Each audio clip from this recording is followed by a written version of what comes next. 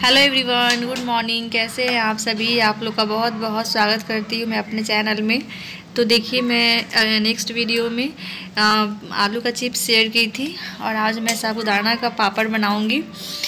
तो आज उसी की रेसिपी शेयर कर रही हूँ। तो साबुदाना मैं पानी में भिगो दी हूँ और इसमें डालने के लिए मसाले, जीरा, लहसुन और गोल मिर्च उसका पेस्ट बना लूँगी।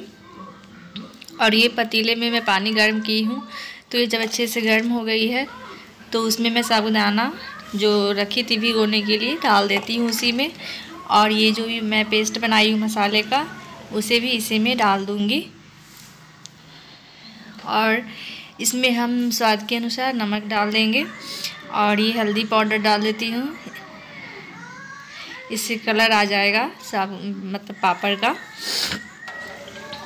तो इसे अच्छे से मिक्स कर लेंगे और इसे लगातार चलाते रहेंगे। ये थोड़ा गाढ़ा हो जाएगा तो इसका पेस्ट तैयार हो जाएगा पापड़ का। ये देखिए गाढ़ा हो रहा है तो इसे लगातार हम चलाते रहेंगे। तो ये देखिए इस तरीके का हमने बना लिया है और अब मैं छत पे आ गई हूँ। तो छत पे मैं धूप बहुत अच्छा है, छत पे ही डालूँगी और ये मैं प्लास्टिक बिछा ली हूँ और उसके ऊपर मैं तेल लगा दे रही हूँ ऐसे पापड़ चिपकेगा नहीं।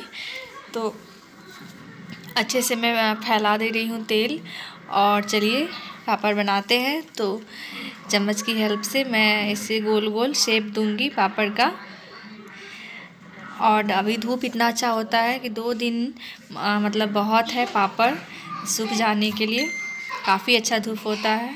तो अगर आप मेरा पहले का वीडियो नहीं देखे हैं तो प्लीज़ ज़रूर देखिएगा। मैं आलू का चिप्स शेयर की थी और ये साबुदाना का पापड़ है। तो देखिए, मैं काफ़ी सारा बना ली हूँ।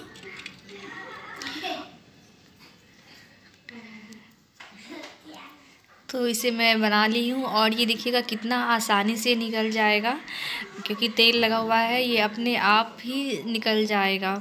इसे छुड़ाने की भी ज़रूरत नहीं है। ये देखिए, मैं शाम को आई थी तो ये अपने आप ऐसे सूख कर निकल चुका था। तो ये अभी ज़्यादा अच्छा से नहीं सूखा है तो इसे एक दिन और सुखाऊँगी। तो दो दिन सूखने के बाद फिर मैं आपको दिखाती हूँ कि हमारा पापड़ कैसा है। ये देखिए।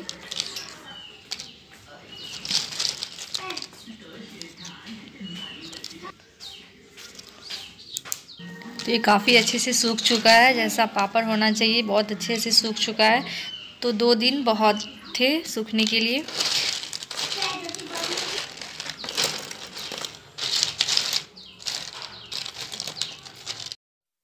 तो चलिए अब मैं इसे छान के दिखाती हूँ कि हमारा पापड़ कैसा बना है।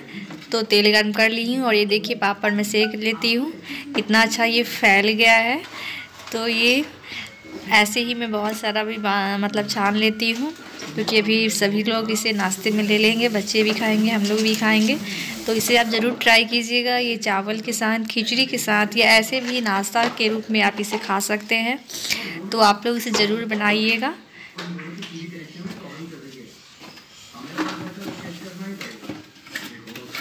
और ये देखिए, मैं आपको तोड़ के दिखाती हूँ, काफ़ी सॉफ्ट भी है।